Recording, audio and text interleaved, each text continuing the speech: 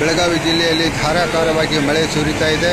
ತಾವು ನೋಡ್ತಾ ಇರುವುದು ದೃಶ್ಯಗಳು. ಇದು ಗೋಕಾಕಿನ ಫಾಲ್ಸ್, ಗೋಕಾಕ್ ಫಾಲ್ಸ್ ಕೆಳಗಡೆ ಯಾವ ರೀತಿಯಾಗಿ ನೀರು ಧುಮುಕ್ತಾ ಇದೆ, ಜಲರಾಶಿ ಯಾವ ರೀತಿಯಾಗಿ ತೂಗು ಸೇತುವೆಗೆ ಅಪ್ಪಳಿಸ್ತಾ ಇದೆ ಅನ್ನುವಂಥದ್ದು ತಾವು ನೋಡ್ತಾ ಇರ್ಬೋದು.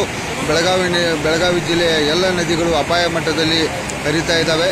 ಮಹಾರಾಷ್ಟ್ರದ ಕೋಯಿನ ಮಹಾರಾಷ್ಟ್ರದ ಪಶ್ಚಿಮ ಘಟ್ಟದಲ್ಲಿಯೂ ಕೂಡ ವಿಪರೀತವಾಗಿ ಮಳೆಯಾಗಿರುವುದರಿಂದ ಮಹಾರಾಷ್ಟ್ರದ ಕೋಣೆ ಜಲಾಶಯದಿಂದಲೂ ಕೂಡ ನೀರನ್ನು ಬಿಡಲಾಗ್ತಾ ಇದೆ.